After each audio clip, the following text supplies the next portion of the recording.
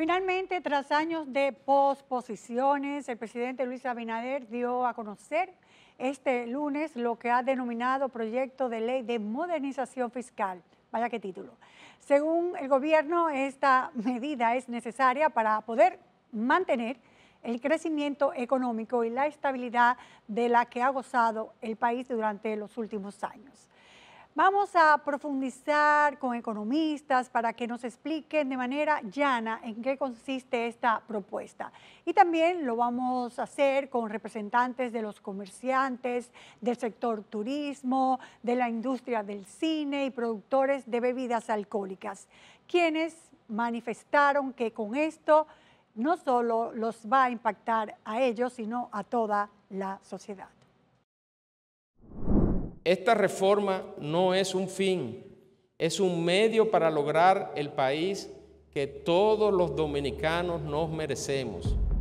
Este Así presentó el ministro de Hacienda el proyecto de ley de modernización fiscal cuya implementación era inminente y necesaria, según especialistas consultados.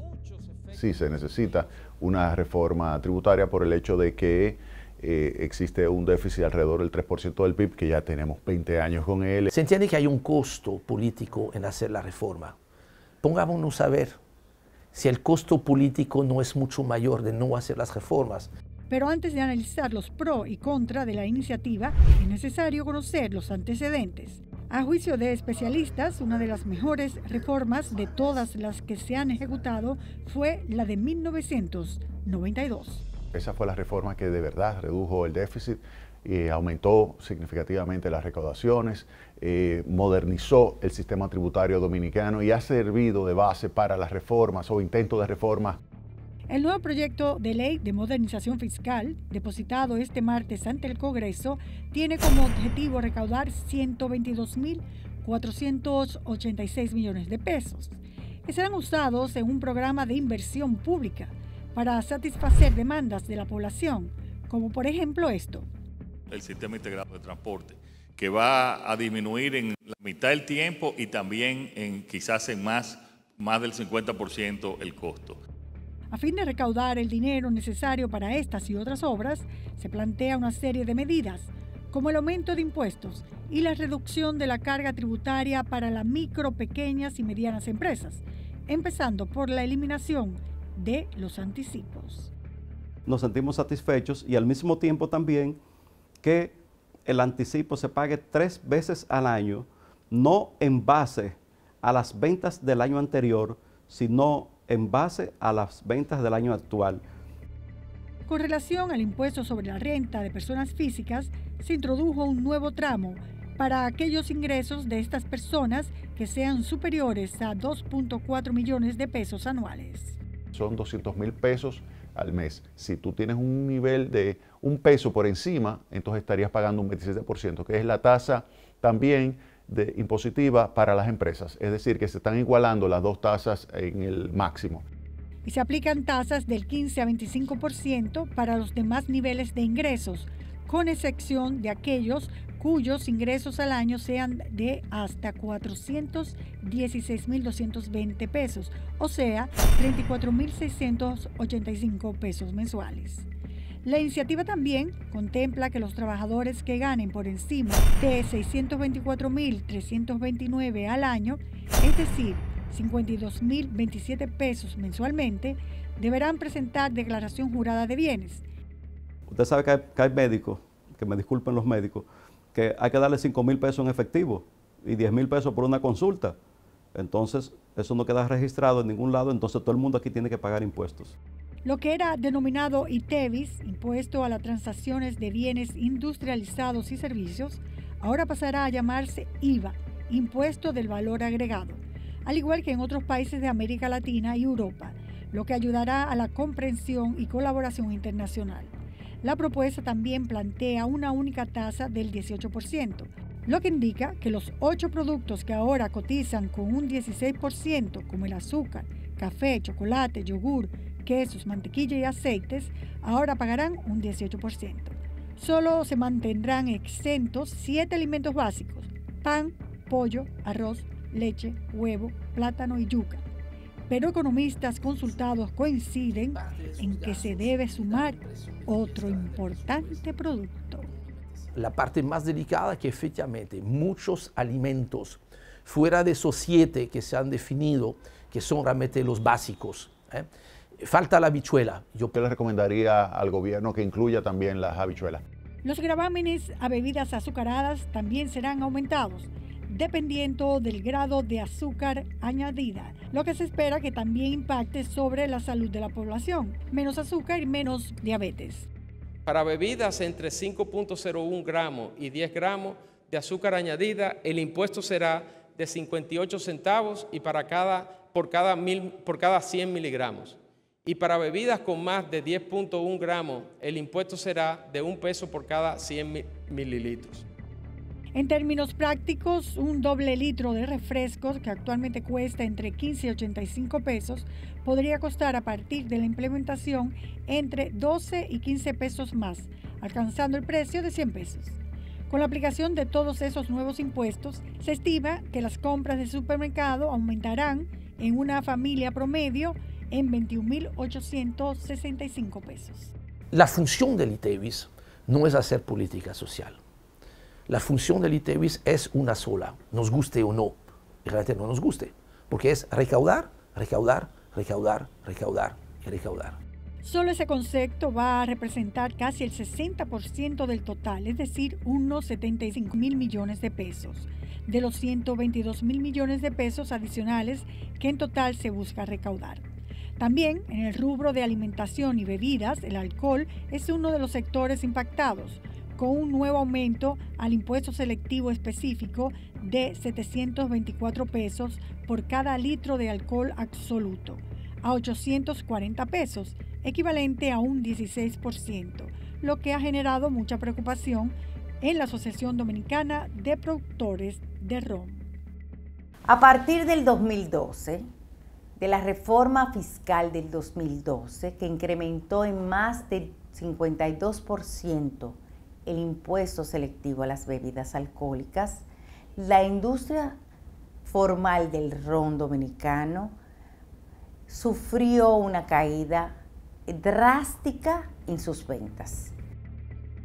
Con este nuevo impuesto, la carga tributaria del ron dominicano sería de un 51.4%.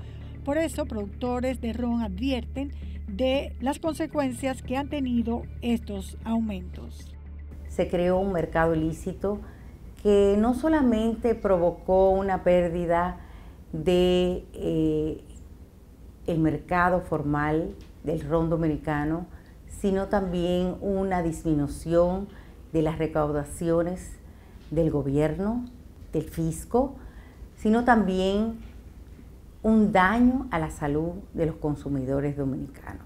Fue así que vimos que en el 2020 tuvimos una gran pérdida de más de 500 muertos ocasionados por un alcohol adulterado. Además, con la puesta en ejecución de esta ley de modernización fiscal, cientos de miles de familias que antes no pagaban el impuesto del patrimonio inmobiliario que actualmente solo es pagado por aquellas viviendas que valen más de 9 millones de pesos, ahora tendrán que hacerlo, pues incluye el valor de una vivienda de bajo costo, ahora baja a 5 millones 25 mil 380 pesos, para que se cobre el 1% del excedente del valor. Pero, ¿qué quiere decir esto? Ilustremos con este ejemplo. Un apartamento que tiene un valor de mercado de 8 millones de pesos, que parece mucho, pero 8 millones de pesos hoy en día es poco para un apartamento. 8 millones menos los casi 5 millones de exoneración, tú estarías pagando sobre la diferencia, 3 millones de pesos, multiplicado por 1%, cerca de 30 mil pesos. Una, anual. Apartamento que hoy en día no paga nada. Esto aplicaría para todas las propiedades, aun cuando todavía el préstamo hipotecario no se ha saldado es realmente la propiedad de una clase media que se ha fajado trabajando y que se está fajando mensualmente pagando una cuota a un banco. Por lo que también podría impactar indirectamente sobre el precio del alquiler de las propiedades. Otro nuevo impuesto que se suma y que se ha colocado sobre la mesa en innumerables ocasiones es grabar las compras por Internet por debajo de los 200 dólares, incluyendo Netflix y Airbnb. La Asociación Dominicana de Empresas Courier emitió un comunicado en que le pide reconsiderar la medida, ya que podría forzar el cese de operaciones de sus empresas. Sin embargo, la Federación Dominicana de Comerciantes, como es natural, tiene una posición diametralmente opuesta. Las ventas se han reducido en más de un 50% por el tema de la exoneración de los 200 dólares y todo el mundo lo que vive es comprando por internet. Claro, los pobres no tienen tarjeta de crédito para comprar y esto significa 4 mil millones de pesos que deja de percibir el Estado. Otra propuesta que ayudará a los comerciantes dominicanos a competir en igualdad de condiciones son las medidas anunciadas para combatir los delitos tributarios, incluyendo un nuevo censo de contribuyentes a cargo de impuestos internos y auditorías masivas. Aunque ellos dicen los extranjeros, nosotros lo llamamos por su nombre, que hay que fiscalizar a los comerciantes chinos porque la competencia desleal que le están haciendo a todos los empresarios comerciales de hasta 50 años eh, con sus negocios abiertos, los está llevando a la quiebra y a la desesperación en todas las localidades del país, no solamente en la capital. Se habla de una modernización fiscal cuando pareciera que lo que hay que modernizar y eficientizar es el cobro de impuestos, ya que la evasión por concepto de ITEVIS es alto, un 48%, y a nivel de impuestos sobre la renta de un 62%. Solamente con la evasión y la eliminación de las exenciones tributarias por sí solo era una reforma que por menos que se pudiera recolectar eran más de 200 mil millones de pesos, aún reduciéndolo a un 50%. En lo relativo al marbete, el gobierno propone un aumento de 1.500 a 3.000 pesos para los vehículos cuya fabricación es mayor de 5 años y de 3.000 a 6.000 pesos para los que sean de hasta 5 años de fabricación. Con lo que se piensa que se va a recaudar 3.085 millones de pesos. Sin embargo, se recomienda usar otro criterio de valor del vehículo en lugar del año de fabricación para mayor justeza. Porque imagínate que tú andas en un Mercedes-Benz o en un BMW o en un Lamborghini, eh, no es justo que tú lo que pagues sea 6 mil pesos únicamente como, como pago máximo. No, tú deberías pagar un porcentaje, aunque sea un porcentaje bajo, pero un porcentaje del valor del vehículo. La reforma también plantea la eliminación de una serie de incentivos a favor de varios sectores, establecidos en leyes que tienen décadas de haber sido promulgadas. Tal es el caso de la ley de Confotur 158-01, que data del año 2001 y establece ciertos beneficios al sector turístico, incluyendo este. Elimina todo lo que es las importaciones de, de artículos libres de impuestos para fines de desarrollar hoteles y la inversión inicial una inversión inicial que ronda más de 300, 400 millones de dólares.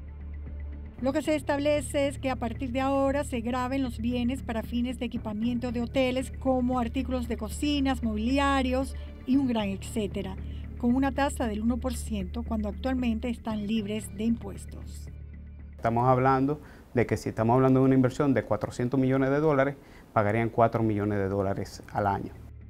Impuestos que no se pagaban hasta que transcurrieran 15 años para permitir el desarrollo de los proyectos, que es cuando las cadenas hoteleras empiezan a percibir el retorno de sus inversiones.